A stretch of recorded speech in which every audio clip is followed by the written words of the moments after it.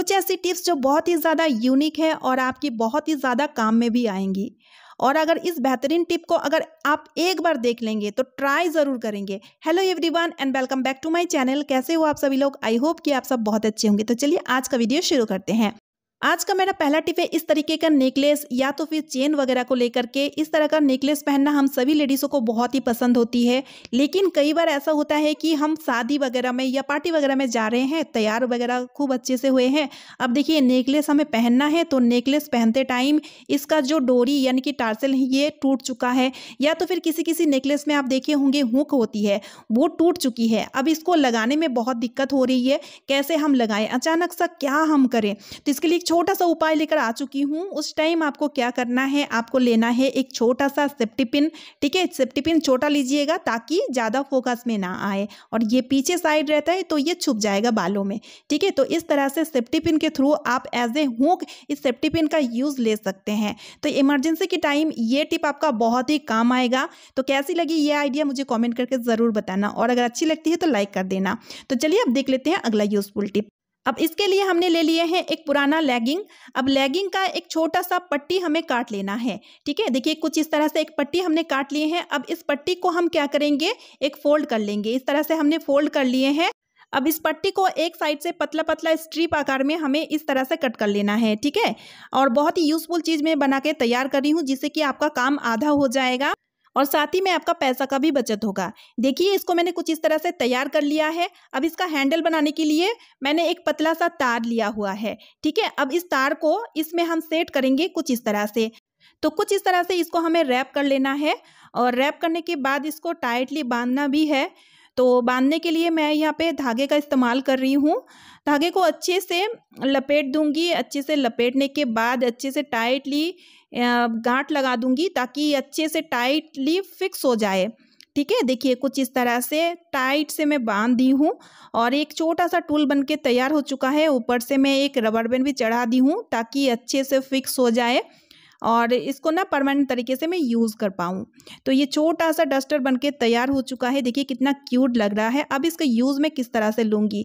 तो हम अपने घर में मिक्सी का यूज़ तो करते ही हैं तो मिक्सी को जब हम क्लीन करते हैं तो आप देखे होंगे जहाँ पे हम जार को रखते हैं, मिक्सी जार को, वो जगह बहुत ही ज़्यादा छोटा होने की वजह से उस जगह को हम प्रॉपर तरीके से क्लीन नहीं कर पाते हैं। लेकिन अगर इस तरह का एक छोटा सा टूल बनाया जाए तो आप देखेंगे इस जगह को भी आराम से आप क्लीन कर पाएँगे, है ना? बढ़िया सा आइडिया।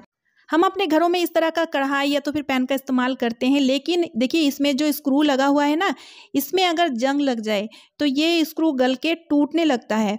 जिस कारण हम लोग का बर्तन खराब हो जाती है और इसलिए हमें मजबूरन उसे फेंकना पड़ता है। तो इसके लिए बहुत बढ़िया सा उपाय लेकर आ चुकी हूँ। आपको लेना है नेल पेंट। ट्रांसपेरेंट वाला नेल पेंट लीजिएगा। अदरवाइज़ अगर आपके पास ट्रांसपेरेंट वाला नेल पेंट नहीं है तो कोई दिक्कत नहीं है। आप कलरफुल नेल पेंट भी ले सकते हैं। बट ट्रांसपेरेंट वाला नेल पेंट लेने से क्या होगा? ये दिखेगा नहीं। तो इस तरह से आपको क्या करना है? स्क्रू में नेल पेंट को अच्छी तरीके से लगा देना है। अब स्क्रू में नेल पेंट लगाने के कारण क्या होगा? स्क्रू में जंग बिल्कुल भी नहीं लगेगा। और जंग नहीं लगेगा तो फिर स्क्रू गलेगा नहीं, गल के टूटेगा भी नहीं और आपका बर्तन लॉन्ग टाइम चलेगा। है ना? बढ़िया आइडिया आई होप ये टिप आपको बहुत पसंद आया। तो चलिए अब देख लेते हैं अगला टिप। तो अक्सर जब हम खाना बना रहे होते हैं खास तौर में जब हम रोटियाँ वगैरह सेकते हैं तो गलती से कई बार ऐसा होता है ना कि हाथ जल चुकी है। अब देखिए, हाथ जलने से बहुत जलन भी होगी तो इसलिए हम तुरंत क्या करते हैं, मलम या तो फिर जेल वगैरह लगाते हैं। तो आपको ऐसा नहीं करना है, आपको तुरंत गूंदा हुआ आटा ले लेना है। गूंदा हुआ आटा को आप इस तरह से जला हुआ हिस्सा में लगा दीजिए, क्योंकि पुराना ज़माने में दादी नानी लोग इस तरह का, इस नुस्खे का यूज़ करते थे। इससे क्या होगा, जलन तुरंत कम हो जाएगा, फुसका भी नहीं पड़ेगा और साथ ही में आप इजीली काम भी कर पाओगे क्योंकि ये जगह कवर रहेगा। है ना? बढ़िया आइडिया आई होप ये आइडिया आपका बहुत ही काम आएगा। तो चलिए अब देख लेते हैं अगला यूज़फुल टिप तो अगला टिप के लिए मैंने यहाँ पे बर्तन में पानी लिया है। ये नॉर्मल सा टैब वाटर है। अब मैं इसमें डालूँगी दो टैबलेट। तो यहाँ पर वाइट टैबलेट लेना है, कलरफुल टैबलेट बिल्कुल भी नहीं लेना है, ठीक है? ध्यान रखिएगा।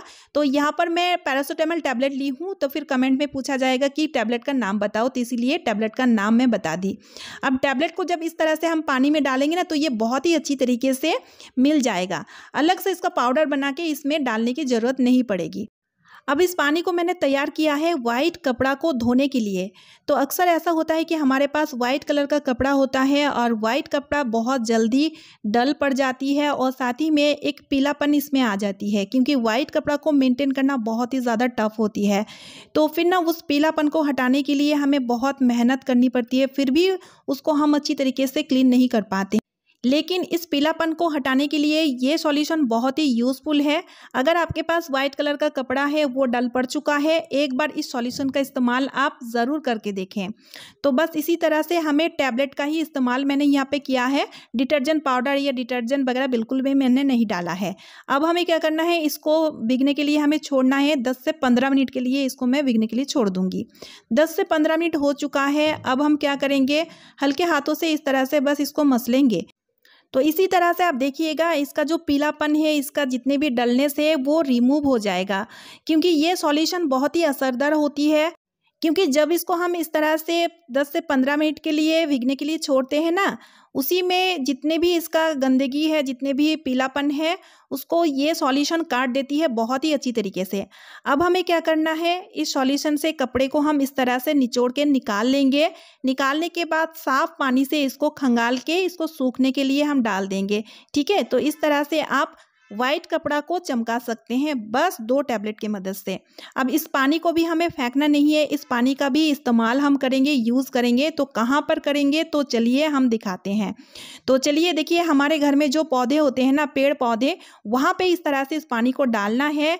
तो देखिएगा प्लांट का जो पत्ता है, उसमें जो कीड़ा लगता है ना, उसको भगाने के लिए ये जो सॉल्यूशन है ना, ये बहुत ही काम में आएगा। तो बस इस तरह से आप पौधों में डाल दीजिए या तो फिर स्प्रे कर दीजिए, है ना, बढ़िया सा आइडिया और मेरा अगला टिप है इस तरह का पुराना पिलो कवर को लेकर के, पुराना पिलो कवर हो या तो फिर पुराना कुशन कवर हो तो उसको ना रख के या ना फेंक के इसका यूज़ हम बहुत ही अच्छी तरीके से ले सकते हैं। तो चलिए मैं आपको दिखाती हूँ इसका यूज़ हम कैसे लेंगे।